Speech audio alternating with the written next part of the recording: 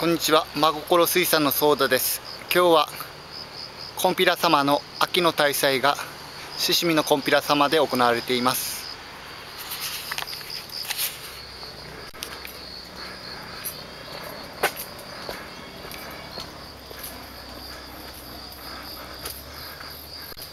おはようございます。すいません。ちょっと撮影をさせてもらってます。ちょっと動画を撮らせてもらってます。おがまってもらいます、はいはいはい。すいません。